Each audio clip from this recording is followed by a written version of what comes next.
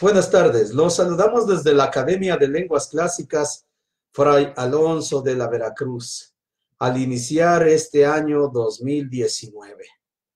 El maestro Porfirio eh, Tepox Cuatlayot y su servidor Juvenal Cruz Vega queremos compartir con ustedes una reflexión que hemos titulado Conversación sobre el método ecléctico analógico y su aplicación a las lenguas clásicas y modernas a las humanidades y al estudio universitario.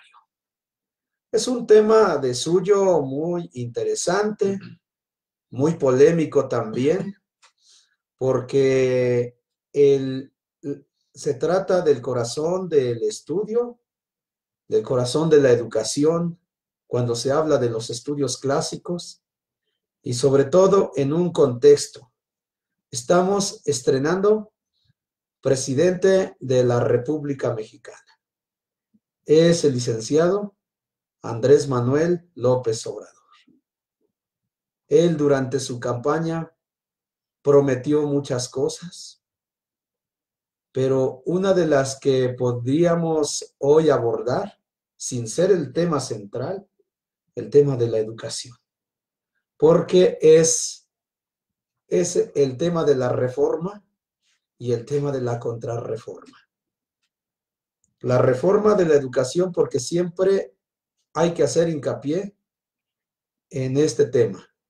Pero por otro lado, la contrarreforma, porque uno de sus proyectos es echar abajo el proyecto del presidente Enrique Peña Nieto, que le había llamado, pues también reforma educativa. O sea que estamos entrando a un tema y sobre todo a un tiempo, enero del 2019, donde se presenta un México nuevo, un México diferente. ¿Por qué nuevo? Porque es año nuevo, a eso me refiero. Pero un México que vive la crisis mundial del humanismo en todos los puntos de vista la crisis que tiene México no es, no es la crisis de este, de, de, Puebla o de la Ciudad de México o, de, o solo de nuestro país. Es la crisis mundial. Y cuando se habla del humanismo, cuando se habla de las humanidades, siempre se va uno a meter a este tema. Con la palabra posmodernidad, hablamos, nos metemos a este tema. Pero dije conversación sobre el método ecléctico analógico y su aplicación a las lenguas clásicas y modernas, a las humanidades y al estudio universitario. Como vamos a estar el maestro Porfirio Tepox me gustaría hacer un diálogo con él. Eh, a veces, eh, pues que se vea así como que yo entrevisto al maestro Porfirio, él me entrevista y los Ustedes, eh, solo tenemos dos estudiantes aquí con nosotros, María José y María Fernanda. Eh, qué bueno que llegaron aquí a escucharnos para que también no nos sintamos solos, el maestro Porfirio y yo, platicando ahora que estamos preparando los cursos. Eh, nos sentimos acompañados y nos sentimos con mucho ánimo. Maestro Porfirio, ¿qué te simboliza la expresión método ecléctico analógico? Pues unidad de lo diverso, porque el eclecticismo nos va a permitir pues reunir los mejores elementos, en el caso pensando en la universidad, de, de cada disciplina. Sí, y este es un método, es un camino. La parte de la analogía también va a reforzar a este eclecticismo y entonces va a unir a, esta, a estos elementos diversos a través de sus semejanzas. Yo creo que es un método de la convivencia en el ámbito universitario. ¿Tú lo aplicas a la enseñanza del latín, del griego, del náhuatl? ¿Cómo le haces para...? Pues eh, vamos trabajando eh, a través de un buen ejercicio gramatical, porque eh, por ejemplo, cuando enseño el, el, náhuatl, eh, ocupo este apartado del método ecléctico analógico porque pues lo permite la lengua. Para trabajar un buen náhuatl hay que también tener un buen español.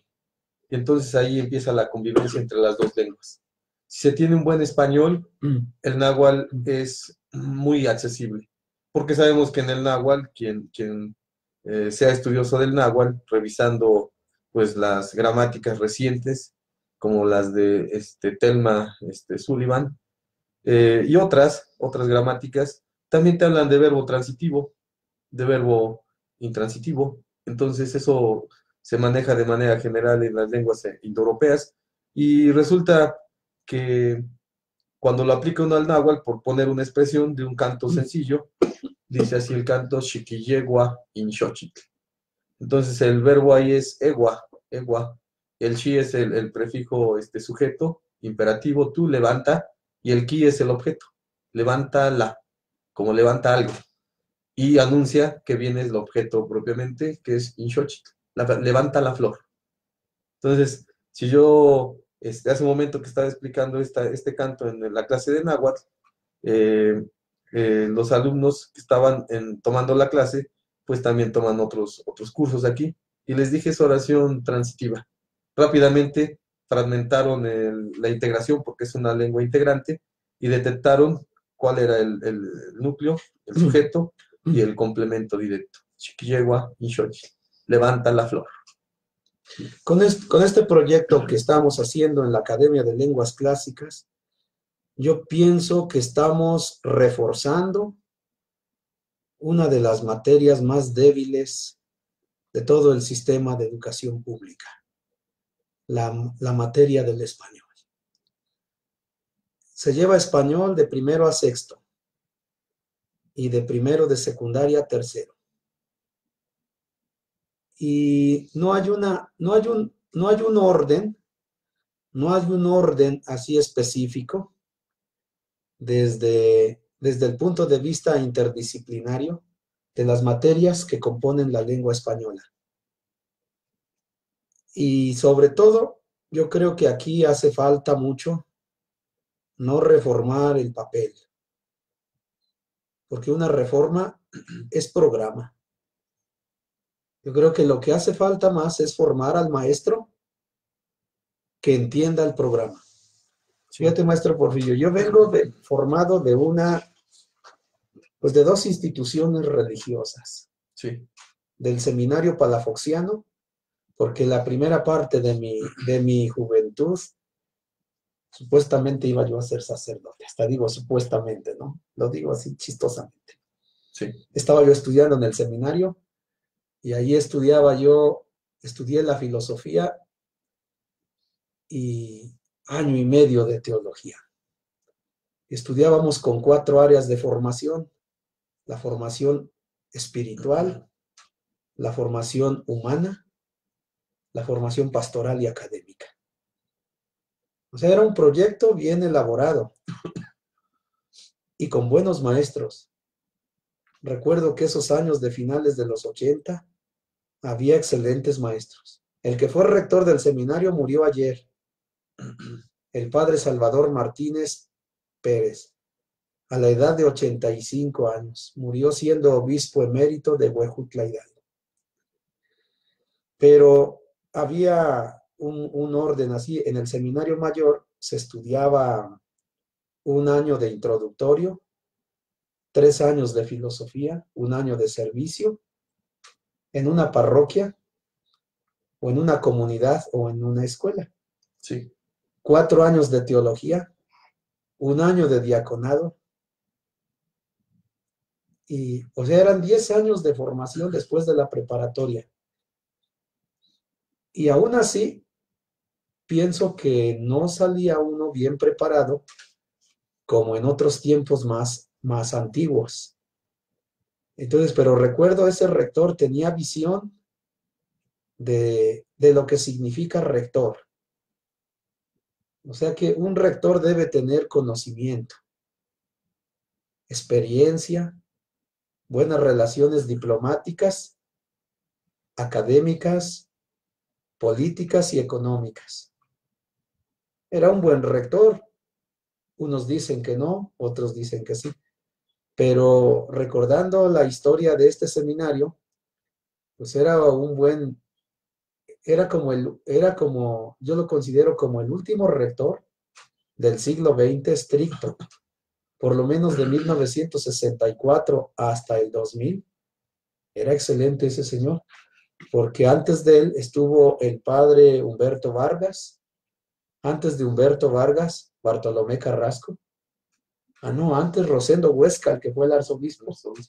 Bartolomé Carrasco y hasta Alfonso Reyes Ramos, para distinguirlo de Alfonso Ramos Ochoa. Bueno, después me tocó la formación de la Universidad Pontificia de México, donde estudié la licenciatura en filosofía. Y allí pues era un conocimiento muy fuerte, sobre todo de las lenguas clásicas, de la filosofía sistemática, sobre todo la ontología, muchos cursos de ontología, de metafísica, antropología, ética y sobre todo materias aplicadas, por ejemplo, filosofía y ecología, eh, filosofía y axiología, filosofía del derecho, filosofía de la, de la ciencia, epistemologías contemporáneas del siglo XX. O sea, era una formación muy fuerte. Y cuando yo veo, ahora aludiendo a lo que decía de la materia de español, Sí. que es muy débil en el sistema de educación pública, no hay claridad, por ejemplo, cuando, cuando uno está estudiando el significado de las palabras, semántica, cuando estudiamos, por ejemplo, sinónimos, antónimos, metáforas, metonimias, que esta parte se llama semántica y hay que estudiarla muy fuerte, sobre todo hay que estudiarla muy fuerte, si, me refiero al maestro que esté dando esa asignatura, pero también es muy débil la parte de la sintaxis, Es fundamental para la formación del español. Allí el, el estudiante está haciendo enunciados, pero todavía no hay esa claridad de que entienda bien el enunciado bimembre y el unimembre, de que entienda bien la naturaleza de los verbos, cuando es una oración con el verbo ser, cuando significa está, cuando significa es, cuando significa está o cuando significa existe. Ahora, la formación del verbo transitivo y del intransitivo. Luego, cuando pasa a la oración coordinada, a la subordinada y a la justapuesta. Cuando vienen a estudiar griego y latín a la Academia de Lenguas Clásicas, yo creo es el mejor diagnóstico que podemos hacer, porque vemos allí que no pueden, no, no, no tienen los estudiantes el conocimiento elemental de la, de la gramática española para que se pueda entender lo- el, taller de lectura y redacción o para que se pueda redactar trabajos de investigación ya, por ejemplo, cuando uno pasa a la, a la universidad, a economía, medicina, derecho. Maestro Porfirio, ¿cómo ves esto, este tema? Pues ahorita que está relacionando el estudio de la gramática y de las lenguas con su formación, eh, yo recuerdo hace, hace, ya, pues ya hace años que usted ha manejado estas lenguas como parte del tronco común universitario. Creo que es fundamental porque ahorita que estaba citando esta parte de el desconocimiento de la semántica y sus relaciones, eso en la formación inicial primaria, secundaria, bachillerato, que debemos tener claridad desde ahí, va a tener una, un resultado, pues yo lo creo negativo en la parte universitaria, porque uno puede pensar que estos elementos que son de la lengua, muchas veces al elegir carrera, pues pensamos que no están ahí. Y están ahí.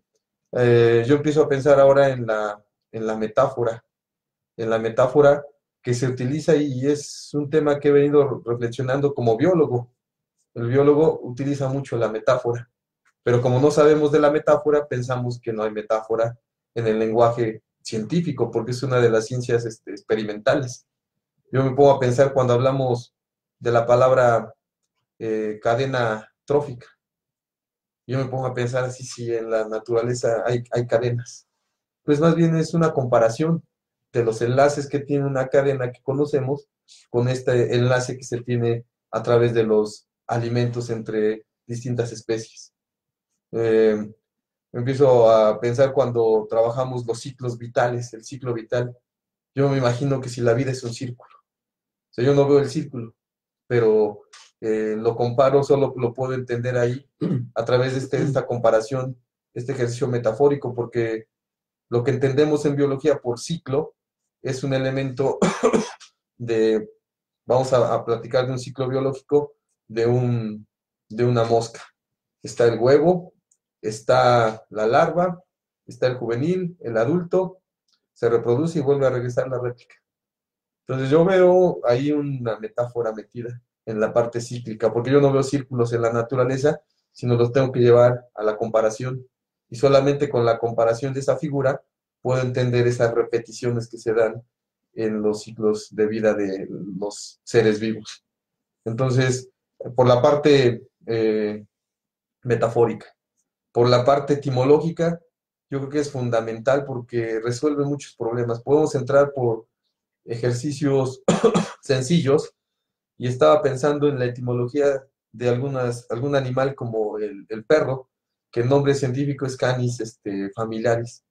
Y ese, ese animal tiene un problema en, en, la biología porque es un animal que tiene una forma tan diversa. Como ejemplo pueden ver un San Bernardo. Es un perro enorme y un perro este, chihuahua o alguno de los, estas razas ratoneros son pequeñitos. Entonces, si los ponemos por la forma, casi no se parecen. Tenemos que resolver este tema, pero solo se va a resolver si se estudia bien la lengua. Porque canis, pues, alude a que abren el hocico todos los cánidos, como el verbo que lo he revisado, está relacionado con el verbo este, cano, que es cantar y que es abrir el hocico. Pero la parte específica es este, familiaris, entonces, el perro de la familia. Ahí tenemos un, un este, pues nos detenemos porque hay un, una barrera al no entender ni la etimología de familia para poder entender el perro. Resulta que familia viene de, de famis y es el lugar donde se resuelve el hambre. Entonces, la razón de llamar al perro canis familiaris es porque adquiere un nuevo modo, modus vivendi, como dice uno, en latín modus vivendi, o una dieta, una dieta, un modo de vida que eso es la traducción hacia el latín. O sea, su nuevo modo de vida es que el animal, el perro, es alimentado por el hombre. Se hace dependiente del hombre en su alimentación. Por eso es canis familiares. Entonces, la razón de unir a toda esta eh, diversidad este, de, animales, que son los perros, tienen distintas formas. Si uno revisa un catálogo de, de perros, son tan distintos. Pero se unen, ¿por qué? Porque tienen el mismo modo de vida todos los perros son alimentados por el hombre. Y ya de ahí estoy empezando a reflexionar sobre las jerarquías de la vida, porque allá manejamos la, vida como la bios. Pero no basta con ese concepto. Ahora he estado revisando este concepto del modus vivendi como otro elemento para poder explicar a estos seres vivos. Y ya en unos días, este, estos días que vino el doctor este, Araiza, le platicaba que quiero trabajar algo de la SOE, para que haga, vea que las jerarquías de la vida se necesitan para poder explicar a los seres vivos. Entonces, pues sí, es, yo creo que como ahorita lo relacionaba con, con su formación este, universitaria, a mí me ha dado un giro en torno al conocimiento de la biología porque algo que yo puedo comentar con, con orgullo es que estudiar las lenguas clásicas no me ha alejado del estudio de la biología. La sigo estudiando, sigo trabajando la parte que llaman allá en, la en, biología, que estudié ahí en la UAP, este, la parte teórica, que es el corazón, de hecho, es el corazón de la, de la biología. Si no se estudia la parte teórica, se pueden hacer muchos experimentos, pero no se le da una fundamentación a ese trabajo que se está realizando. Por esto he venido buscando nuevos métodos, como la aplicación de este método fenomenológico para nombrar a las cosas y ver que las cosas sugieren su nombre, van a su encuentro del, del nominador y que pues propiamente en la palabra queda inserta parte del sujeto y parte de ese objeto estudiado. Ahí quedan reunidos porque pienso que es la realidad y también la propuesta del sujeto. Como ejemplo, un nombre muy bonito que, que apenas pensaba era de, los grillos, que es un, un nombre onomatopéyico. Entonces tenemos que empezar a manejar este lenguaje en la biología una onomatopeya. Entonces, ahí, ya ahora que te voy viendo, te voy escuchando habl- hablar sobre toda esta terminología, pensemos así en el maestro que dé español, Sí, toda la nomenclatura que tiene que manejar la onomatopeya, por ejemplo. la onomatopeya, la sí. onomatopeya, la metáfora, la sintaxis, la etimología, también la filosofía. Por eso, si, si reformamos al maestro antes que hacer un proyecto de reforma educativa, yo creo que, que va a ser un, un éxito más, más interesante. Porque, y para es- por- porque es necesario para, para salir de esta crisis mundial, sobre todo del corazón de la, de, que es la educación. Esto lo, lo veo cuando platica uno con los padres de familia. Sí, Los padres de familia dicen, ya tengo a mi hijo que es licenciado, pero ahora ¿qué va a hacer? Ya tiene maestría. Aquí con frecuencia escuchamos a los que dicen, ya tengo doctorado, pero no hay trabajo. sí, no, no hay trabajo. O también lo ve uno desde el aula, ya eres licenciado, ya eres maestro, ya eres doctor, ahora te hace falta saber. O sea, ya tienes el papel. No, eso está bien, está, está bien difícil. Yo veo así nada más la gente que me pregunta acerca de, de, de- de una de las, de las tesis, si le llamamos así tesis, ya es mucho, ¿no? Pero una de las tesis que planteó el presidente de la República cuando era candidato, el renacimiento de México, ¿no? Y con su concepto de cuarta transformación. O sea, son temas muy aventurados. A los que estudiamos letras, los que estudiamos humanidades y sabemos lo que significa la palabra renacimiento, está bien canijo hacer un renacimiento en México. Porque si vamos a hacer un renacimiento en México, tenemos mínimo que compararlo con el concepto renacimiento del Sí. occidente europeo. O sea, cuando el renacimiento hizo su proyecto, pensó, primero vio la deficiencia y la más cercana fue la Edad Media. Pero fueron ocho años de la Edad Media. Es decir, eh, oficialmente del siglo propiamente sexto después de Cristo hasta eh, la caída de Constantinopla, hasta el siglo XV. Si le hacemos caso a Alfonso Reyes Ochoa, cuando, cuando dice que son ocho, ocho siglos de Constantinopla, eh, encontramos la Edad Media un origen, un apogeo y una decadencia. Lo que le molestó al Renacimiento fue la decadencia de la, de la Edad Media o la decadencia de la escolástica. El nominalismo, cuando ya nada más se usaban nombres, pero ya no coincidían los nombres con la realidad. Eh, o sea, lo que llegó a caer gordo, si quieres, nuestro Porfirio fue la nomenclatura, el nominalismo. Pero lo que decayó fue la, la época de oro del- del pensamiento medieval, que es el siglo XII y el siglo XIII, cuando nacen las universidades, el apogeo de los estudios, del trivium y el quadrivium, y del estudio de la filosofía y de la teología. Entonces el, el renacimiento dijo, pues esto no nos da buen resultado, vamos a otros paradigmas. Y entonces buscaron Roma. Se pusieron a estudiar primero, descubrieron que para estudiar Roma hay que estudiar la lengua. Antes de estudiar literatura, geografía, historia, religión, política, hay que estudiar la lengua. Y al ver, al ver que los mejores autores de la literatura latina estuvieron 100 años antes de Cristo y unos 80 años después de Cristo, le ponemos hasta la muerte de Quintiliano, hasta la muerte de Tácito, hasta la muerte del, em- primer emperador ro- romano y todo su gabinete.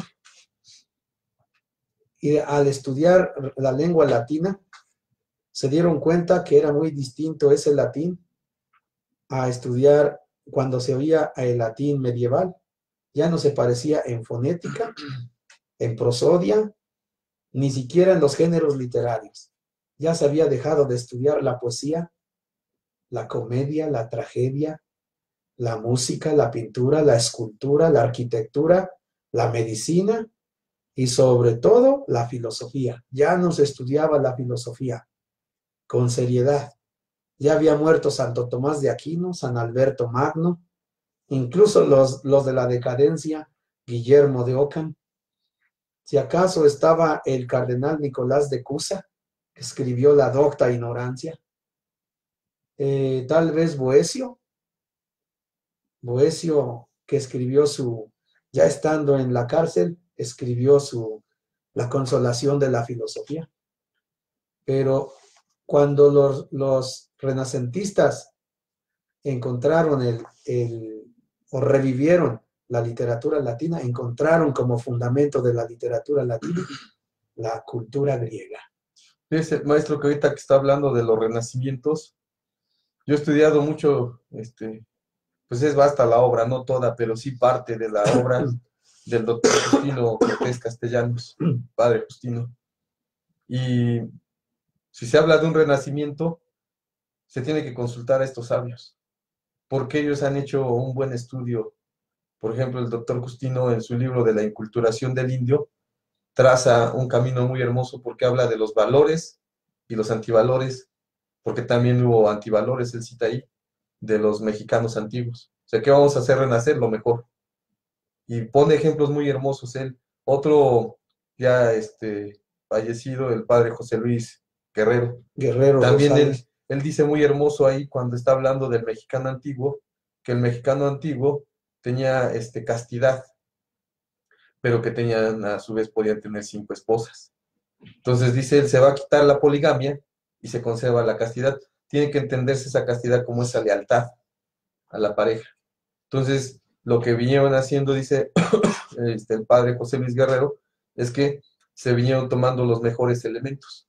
Igual cuando se lee la, la obra del doctor Justino Cortés, también va diciendo cuáles son los valores de los, de los, de los mexicanos antiguos, porque ellos, ellos van citando los dos, que pues era una cultura con una lengua señoril, es una lengua reverencial, ¿sí? que propiamente se habla con esa dulzura. Pues yo digo que en este momento no tenemos una forma tan hermosa de hablar el español y cuando uno se va a esas lenguas antiguas como el náhuatl, le empiezan a colocar a uno, lo he dicho en algunas ocasiones, turquesas y flores en tus, tus palabras.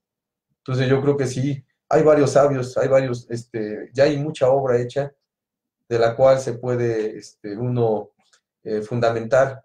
Otro de los grandes, pues don Miguel León Portilla. También él ha destacado pues grandes elementos de los mexicanos antiguos. Y sabemos que si vamos para el México novohispano, pues ahí hay otros especialistas. Uno pues de los grandes, don Mauricio Beuchot, con sus libros en la etapa novohispana. Porque pues ya las investigaciones hay muchas, ¿no? ¿Qué queremos que renazca? El México prehispánico, el México este, novohispano, entonces sí tenemos que detectar como eh, lo hicieron. O la, reforma. Sí, o la, reforma. Entonces, si están los, los tres paradigmas, fíjate, el siglo XIX, que es la reforma. Sí. Sí. Y si el modelo también es Benito Juárez. Fíjate, Benito Juárez, eh, yo hasta me siento identificado un poco con Benito Juárez. Mira, ¿por qué? Porque Benito Juárez también fue seminarista. Sí. Entonces aprendió el latín en el seminario conciliar de Oaxaca. Allí estudió también Porfirio Díaz. Cuando se encuentran en la cárcel, literalmente, hoy ya no se puede hablar con tanta apertura de la palabra cárcel. Y no podemos decirle encarcelados. Hoy somos más así como susceptibles, los mexicanos, que incluso los del siglo XIX. Cuando se encuentran Porfirio Díaz y Benito Juárez en la cárcel, hablan en latín. Y también les sirve como estrategia para que los guardias que estaban allí no les entendieran. Está interesante eso. Ahora, entonces, al estudiar en un seminario, Benito Juárez se puso a estudiar el trivium y el quadrivium en el seminario. Y eso le dio, e, eran las artes liberales. Entonces, si vamos a hacer un renacimiento de México y si vamos a, a, a, revivir México a partir de la reforma, entonces quiere decir que va a regresar el trivium y el quadrivium que se estudiaba en las escuelas de artes liberales o en las escuelas de derecho, el latín, que es la lengua que le va a dar que le va a dar conocimiento a la lengua española, porque no solamente con la escritura, con la lógica, sino también la forma de pensar, sino también todos los valores que van allí con, consigo dentro de, de la lengua. Entonces, por eso digo, está bien empezado a hacer un renacimiento de México con el simple deseo. O sea, este, yo no dudo que, que Andrés Manuel tenga buenas intenciones. En sus, el 24 o 25 de diciembre dijo, pórtense bien, no hagan cosas malas, sean buenos, sean felices. Habló como la madre superiora de un convento, ¿sabe? Porque yo vengo de una formación así y yo escuchaba esas palabras. Los rectores de seminarios eran muy duros, no hablaban así. Los que hablaban eran los padres espirituales, pero los rectores eran muy duros. O sea, estudien, muestren sus tareas con los asesores, entren a las clases de gramática, de filosofía. Y ya el director espiritual era el que hablaba más o menos el lenguaje del que está usando nuestro presidente. Yo a veces me pregunto si es nominalismo y entonces las palabras no corresponden con los contenidos. Entonces no viene la época de oro, sino estamos en la época de decadencia. Fíjense, maestro, que a mí como ahorita está diciendo, este pensamiento me llamó mucho la atención y siempre lo recuerdo, pero en primera persona, ya hablando así de la gramática. Ya no decir pórtense bien, sino como dijo en aquella ocasión el doctor Justino Cortés, seamos usted y yo buenos y habrá dos pillos menos. Las reformas comunitarias empiezan por la reforma de uno mismo, más en primera persona. Es un compromiso mayor. Me encanta más así trabajar esta parte de la gramática porque pues propiamente uno es el que pone el ejemplo. Seamos usted y yo buenos y habrá dos pillos menos, que nos citaba el Papa, recuerdo creo que Juan 23. Sí, Juan 23, porque el Papa Juan 23, él pensó así en la unidad de los cristianos, no solamente católicos, sino de los cristianos, y todavía avanzó más en la unidad de la religión monoteísta, o sea, el, proyecto ecuménico, el diálogo entre judíos, el diálogo entre musulmanes y cristianos. O sea, una coalición, fíjate. Es una coalición, es muy temprano. El, el, Papa Juan XXIII y su proyecto del Concilio del Vaticano II. Entonces, yo creo que, que, que tenemos que trabajar mucho, porque nuestro, nuestro diálogo de ahorita no es una crítica destructiva porque ya estamos trabajando. Hicimos una escuela, la Academia de Lenguas Clásicas Fray Alonso de la Veracruz, que no es un proyecto político, ni es un proyecto empresarial, sino surgió, yo pienso que surgió de la necesidad de ver que, que las lenguas clásicas en primer lugar estaban muriendo en Puebla, nada más comenzando en nuestro país ¿sí? Y, pensando en, nuestro, en nuestra entidad, en Puebla. Cuando Puebla había tenido excelentes humanistas desde antes de la llegada de los españoles. Desde la fundación de Puebla, partimos de la fundación de Puebla, todo el siglo XVI, ni se diga el XVII, porque es la presencia de los jesuitas en Puebla y en México.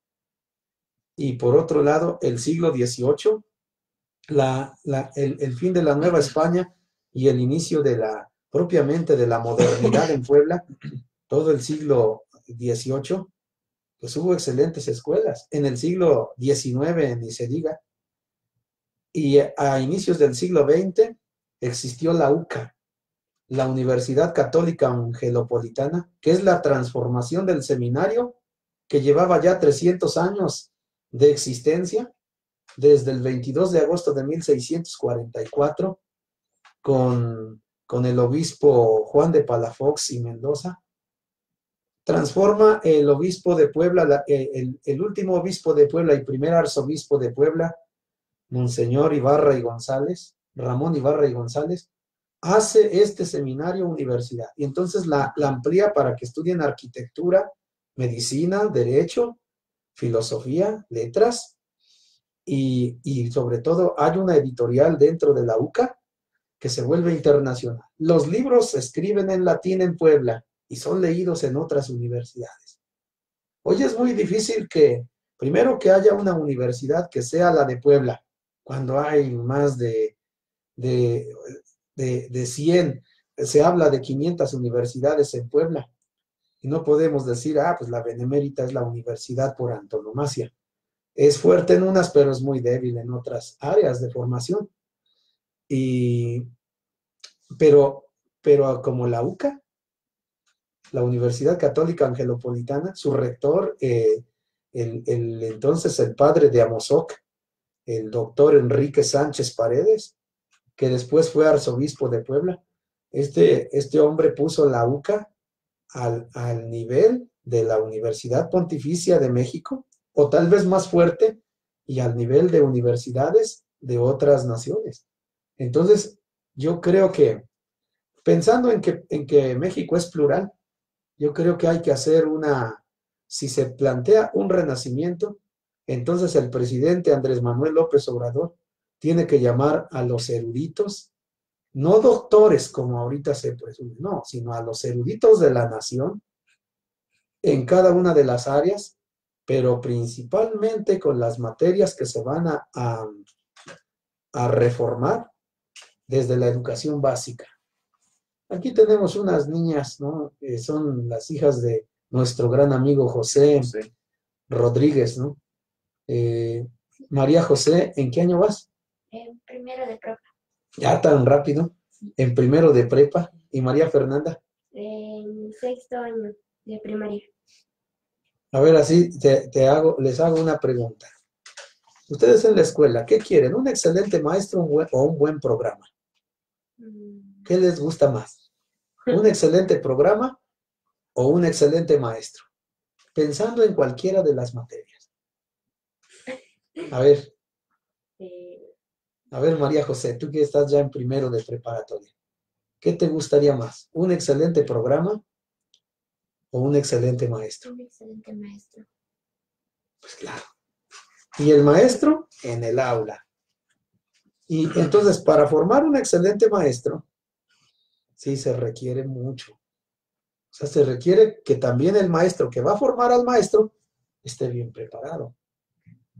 No es, entonces, no es que estemos aquí en este proyecto contra, sino estamos más bien cuestionando cómo le vamos a hacer para la para el para el renacimiento de México en la, en la materia de la educación. Es decir, en cuestión educativa, porque aquí en esta academia estamos reviviendo, sí estamos haciendo un renacimiento, pero en un renacimiento porque el hecho que estemos renaci, renaciendo Atenas del siglo de oro, Alejandría, Roma, eh, la Edad Media, el Renacimiento, la Nueva España y sobre todo el, el humanismo del siglo XIX y del siglo XX. O sea, toda la historia de la educación occidental y también sin, eh, sin, al, sin eludir, eludir, o sea, eludir, o sin elidir también sin quitar el, el, mundo prehispánico. Fíjate, de esto, maestro Porfirio, está hablando mucho Enrique Dussel, un filósofo latinoamericano, argentino, radicado en México, donde está criticando toda la educación de México, donde dice que el 90% de la educación es eurocentrista. Está haciendo tal vez buenas críticas, pero no está dando la propuesta. O sea, él ya está viejito. Anda como en sus 85 también. Tiene muchos libros. Está, dice que hay que descolonizar. Lo que él colonizó. Sí, Porque Pe- es pero- eurocentrista él primero. sí, porque él siempre ha presumido que habla alemán, Sí. que habla griego, latín, pues claro, también tiene una formación eclesiástica. O sea, él fue franciscano de la teología de la liberación, contemporáneo de, de Leonardo Boff, de este teólogo de la liberación muy fuerte de México, el padre Camilo Maxice, o del doctor Fernando Nieto Mesa. O sea, sus contemporáneos, los que lo conocieron, lo están viendo, oye, en sus últimos años Dussel ya no está siendo congruente. O sea, ¿cómo, o sea, ¿cómo le vamos a hacer?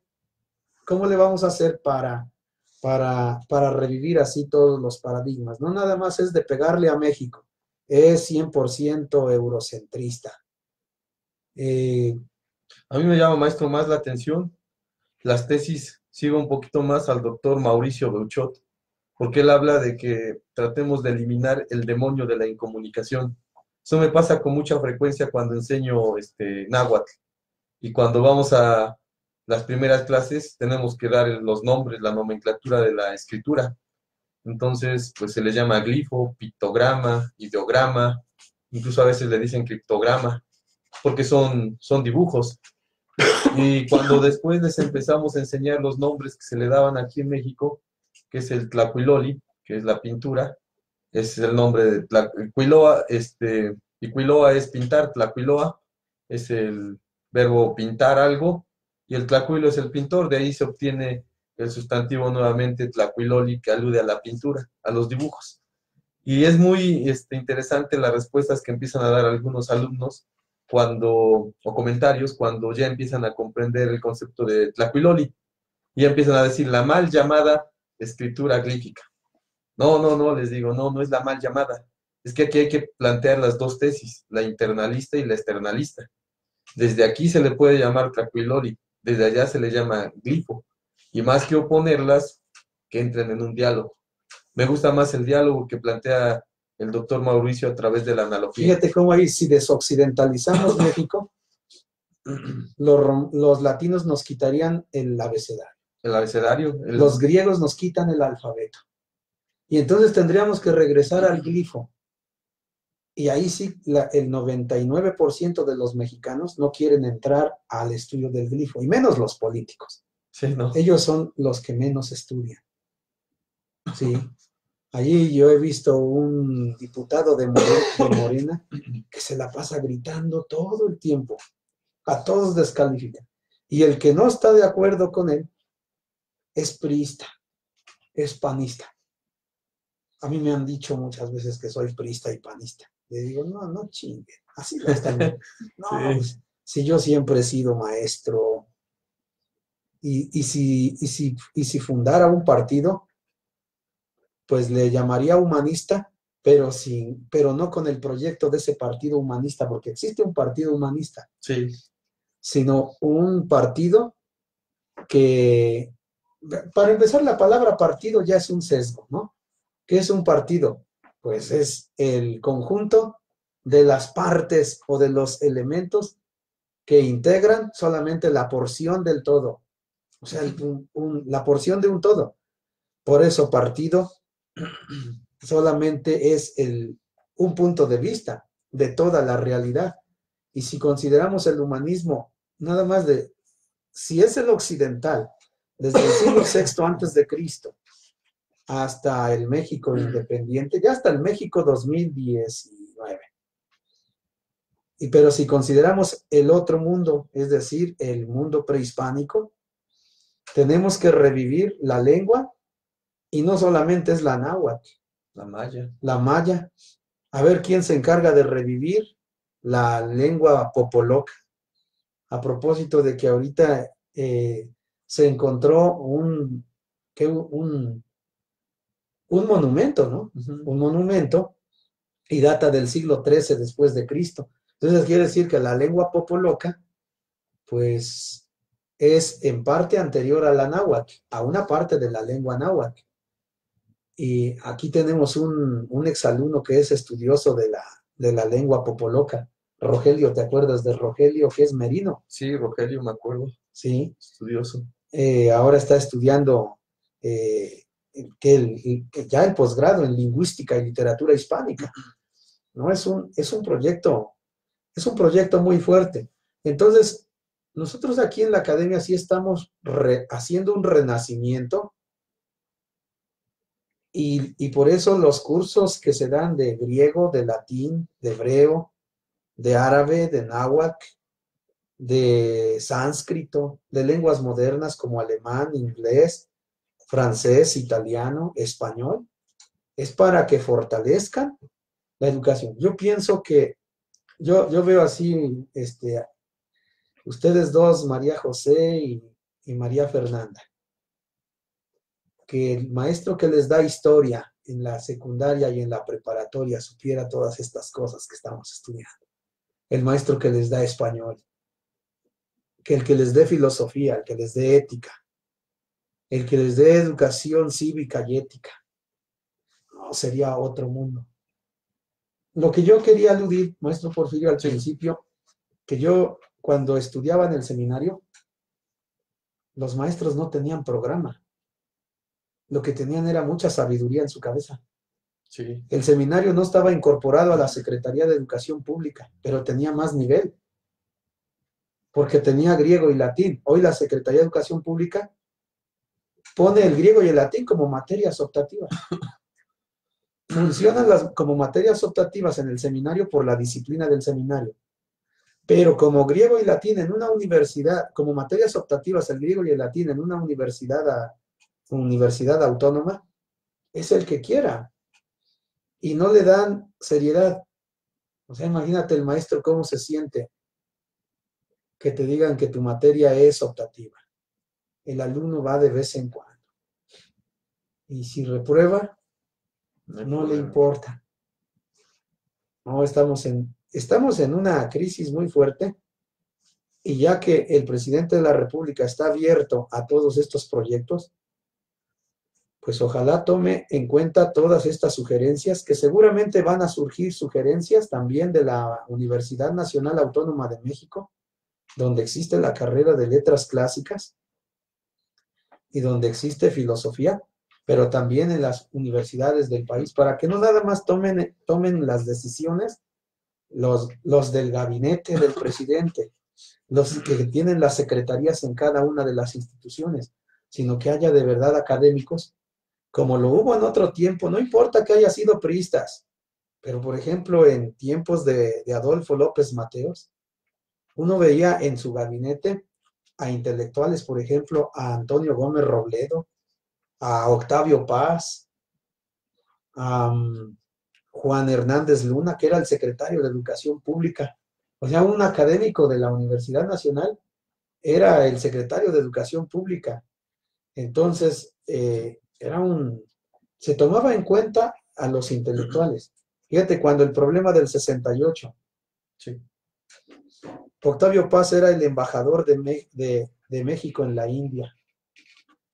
Y resulta que Octavio Paz renunció ante la masacre que hubo en el 68 en México. Dice, no puedo ser cómplice de un país asesino. Pues había intelectuales, ¿no? Eh, o Antonio Gómez, Robledo, que fue embajador de México en Atenas, se puso a estudiar griego moderno y él ya sabía griego clásico. Y es en la época que traduce la República de Platón del griego al español.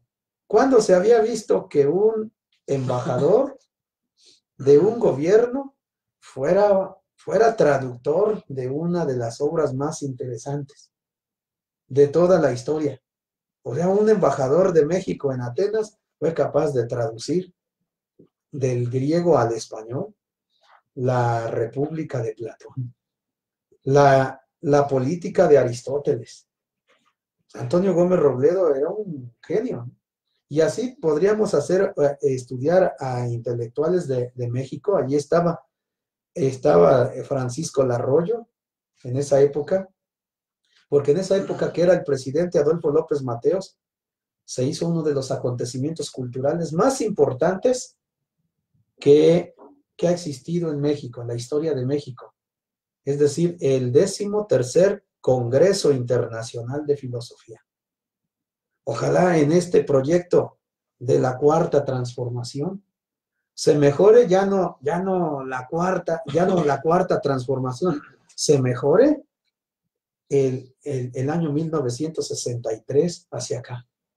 Fíjate cómo yo he escuchado este, versiones de, de parte de la iglesia y versiones de parte del pueblo, como en, en, el ámbito eclesiástico en Puebla, el doctor Guillermo Hernández Flores, que está haciendo ese libro que se llama eh, Historia del Seminario Palafoxiano de 1964 al, al año 2019, donde pues es el proyecto para terminar el libro, dices que son años muy interesantes, donde eh, había intelectuales tanto en la iglesia como en, en, el, en, lo civil. O sea, había intelectuales muy fuertes y respetados mundialmente, tanto en la UNAM, que era la Universidad Nacional, algunas universidades públicas de, de los estados de la República, pero principalmente en todas las escuelas de inspiración religiosa, en la Universidad Iberoamericana, ¿no? Había genios muy destacados como José Rubén Sanabria, como eh, Miguel, Miguel eh, Villoro Toranzo, el hermano del doctor, eh, ¿cómo se llama? Del doctor, yo lo conocí muy bien, se me fue ahorita el nombre, Luis Villoro, Luis Villoro. Luis Villoro Toranzo. Entonces, pero había grandes intelectuales en seminarios, en la Universidad Pontificia de México, o sea, en, en grandes eh, en instituciones religiosas y en instituciones públicas. Hoy todas, salvo una o dos o tres, están buenas académicamente. Sí. Sí, entonces tenemos que hacer algo. ¿O cómo ves, maestro? Pues no nos queda otra cosa que seguir trabajando en estos estudios de las lenguas, pero no solo la lengua, porque muchas veces se piensa nada más en el estudio de la lengua como un cascarón. Ya lo hemos citado en varias ocasiones, tiene que trabajarse la gramática, tiene que trabajarse la parte eh, cultural, la parte filosófica por los métodos, la parte histórica para contextualizar los momentos eh, y los libros que se van a, a, traducir. Yo creo que este ejercicio debe ser el ejercicio interdisciplinario. A mí me llama mucho la atención todo esto porque cuando uno va a un estudio, pues de algún autor, pensando en el náhuatl, en Antonio Valeriano, el Nican Popogua, uno pensaría que nada más va a trabajar la parte filológica, el estudio de la lengua. Pero no tenemos que empezar a contextualizar, ver la parte histórica, los debates que se están dando en la época. A Juan Diego que se postula y el Juan Diego que es muy criticado, ¿no? El Juan Diego histórico muy, muy criticado por la falta de documentación pero postulando a Juan Diego más teológico en este sentido, ¿no? Revisar los contenidos que tiene este libro. Entonces es un ejercicio que más que vaya por una sola línea, tiene que unir varios elementos para que salga pues una traducción y un ejercicio sobre todo formativo para los, los estudiantes y también para los investigadores, porque uno se va formando en el estudio también, uno va creciendo un poco más, pero con el fin que ya lo citábamos hace unos días, el que es este creyente, pues, pues por amor a Dios, el que no es creyente, pues mínimo por amor a la patria, ¿no? Porque la patria debe estar al, frente. Esto que se repite mucho con los latinos, mucho con los, los griegos. Actualmente, pues yo veo que eh, se, se, busca todavía, aunque uno ya, este, en muchas investigaciones ya se ha visto la caída del concepto de progreso de manera rigurosa en esos estudios, pero la gente sigue pensando universitaria que no ha hecho este tipo de reflexión hacia lo que estamos viviendo. Pensamos en un progreso, pero en un progreso, como dice el padre este, José Rubén Sanabria, que se vuelve rutinario, que se aplasta el mismo.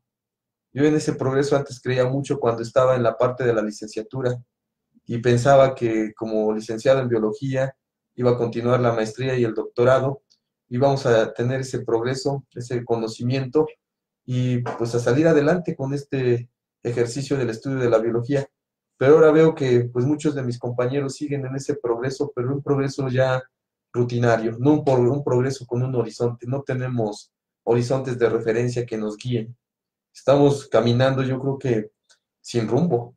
Eso es lo que a mí me preocupa. Y quien te va a dar el rumbo, pues hay que mirar hacia el pasado, como esa eh, sentencia de la historia magistra vitae, la historia como maestra de la vida, para poder eh, ver cómo pensaron en esa época y no ser meros repetidores, sino ver cómo pensaron en, las épocas pasadas, eh, cómo enfrentaron los problemas de, su época, ver un poco esas estructuras de, de, la reflexión que tenían en torno a esto para salir de esos problemas, de esos baches, pero ahora colocar un poco de eso en el presente. ¿Para qué? Pues para poder también avanzar, no, ser menos repetidores, sino sí mirar al pasado. Yo he visto cómo nuestros dirigentes más grandes del mundo están en esas tesis, ¿no? Este, en la carta, en la encíclica más bien, Laudato Si, del Papa Francisco, dice eso, ¿no? Que ya nos asomemos un poco hacia las culturas originarias para ver cómo resolvieron sus, sus problemas. Vamos a hablar de las culturas originarias en distintos momentos de la historia para ver cómo enfrentaron los problemas, pues no tenemos otro camino más que el estudio de las lenguas, el estudio de la filosofía, el estudio de la historia, que actualmente está siendo aplastado por la parte tecnológica.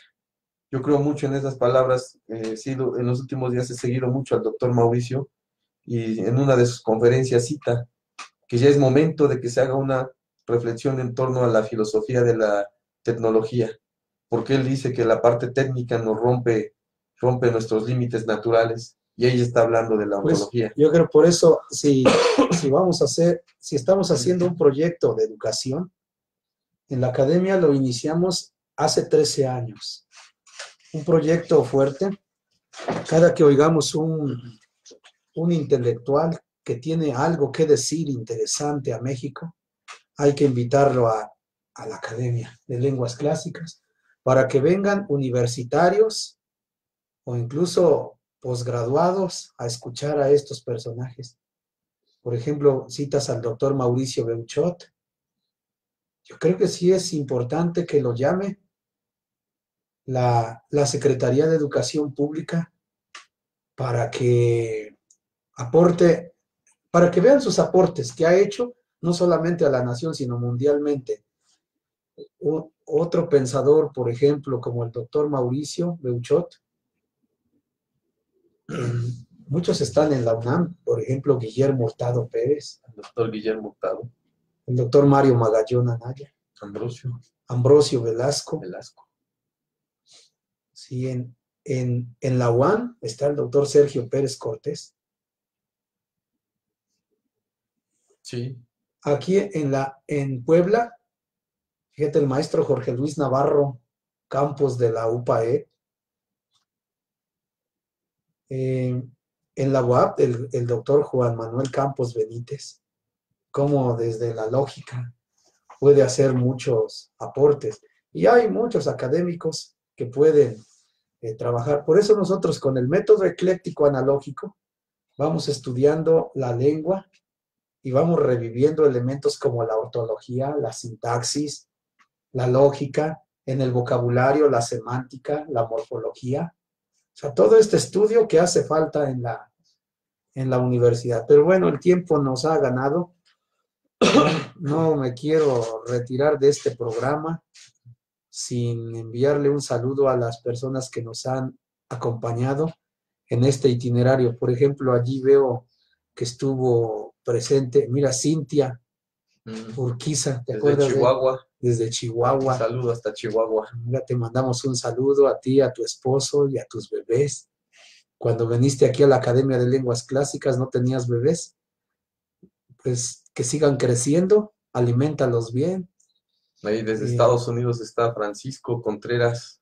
Ah, mira, sí, Francisco Contreras Morán, te mandamos un saludo. También viniste a estudiar aquí a la academia. ¿A quién más ves? Ah, mira, a Ruth Romero de, pues es de Puebla, pero trabaja en, en Tlaxcala. hasta Tijuana, aunque está es de, pues, poblano también, nuestro amigo Jesús Florentino, pero ahora está hasta Ah, sí. Tijuana. Un saludo, Jesús, hasta allá. Ya tan rápido llegó a Tijuana, hace unos días estaba aquí, vino a hacer, bueno, sus vacaciones, pero también un curso. Carla Julia, ella estudió filosofía en la Autónoma de Puebla. ¿No? ¿A quién más ves conocidos? Diana Espíndola, Sí, a Diana. a, a Diana. Eh, Yair, mira, Yair. Dice ahí Banda, Vandala. ¿A quién más? A José. No sé qué, San. Sam. Amelia Cruz Benítez, si me acuerdo de la maestra, como no. Y muchos otros amigos que nos han, que nos han eh, enviado saludos. Bueno, pues estamos eh, inaugurando este año 2019. Seguimos estudiando las lenguas clásicas y modernas con el método ecléctico analógico.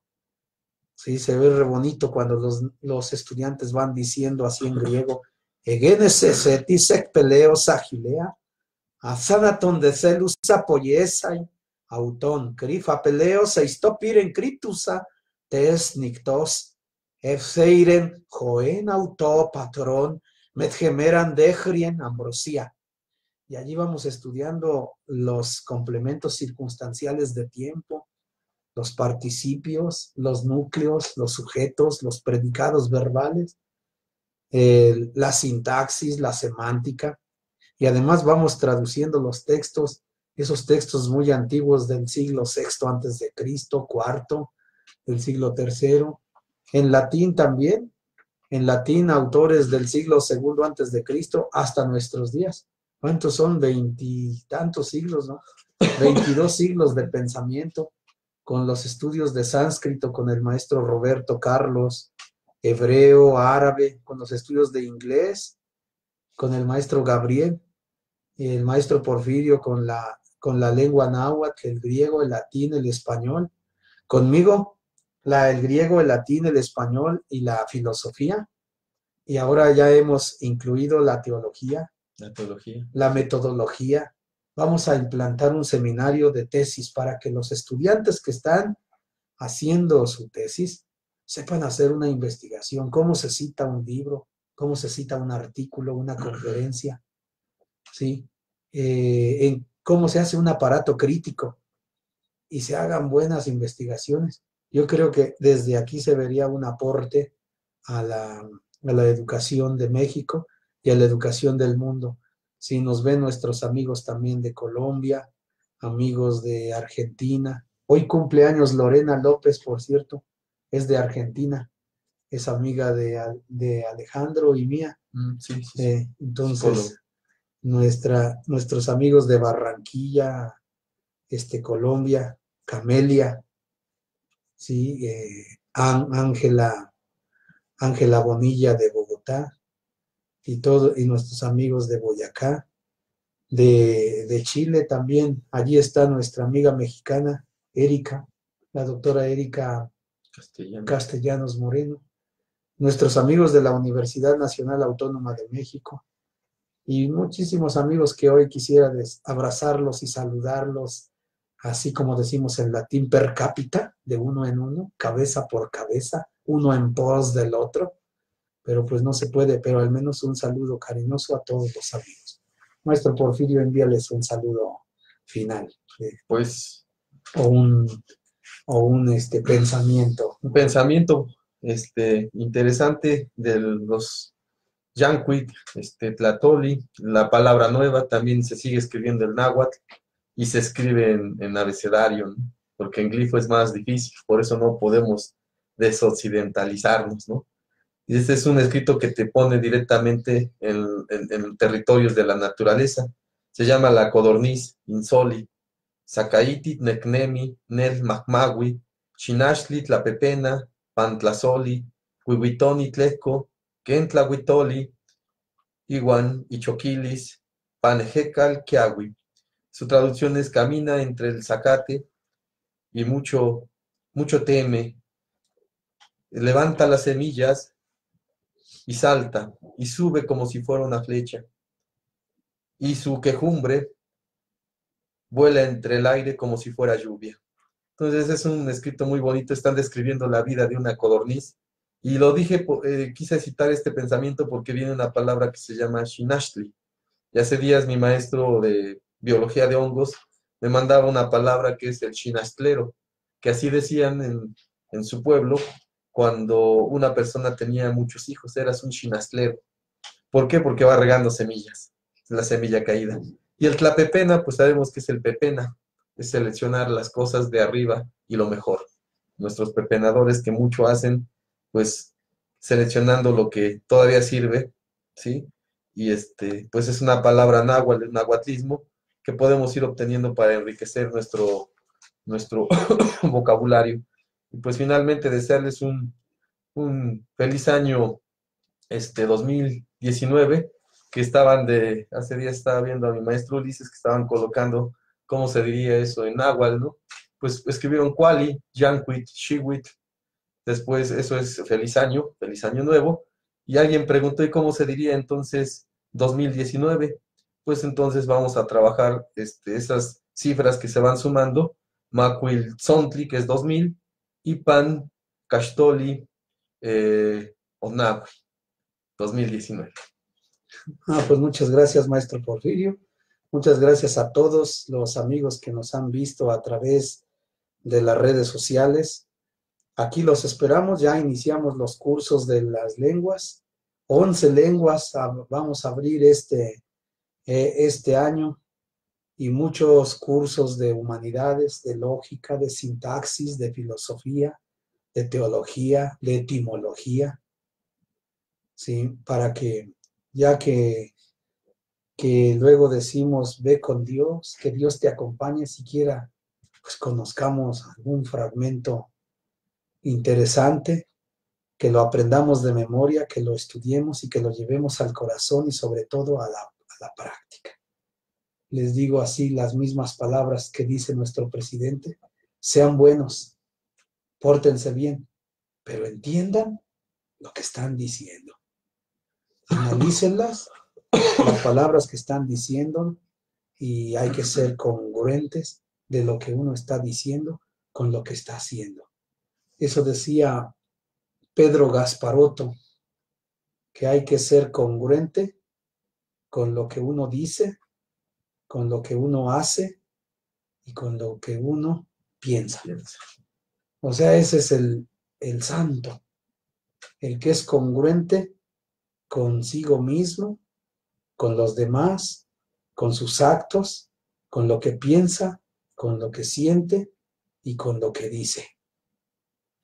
Sí, eso es, es, es, muy interesante este estudio y esto se logra a través del estudio de las humanidades el estudio de las lenguas clásicas, porque es el retorno a la raíz. Radical, sí, pero como un raicero, como un buscador de raíces, como un pensador que va al interior del hombre mismo en búsqueda del sentido.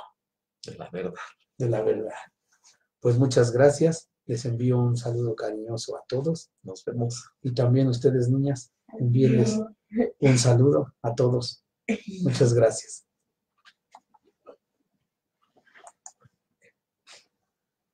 Finalizar.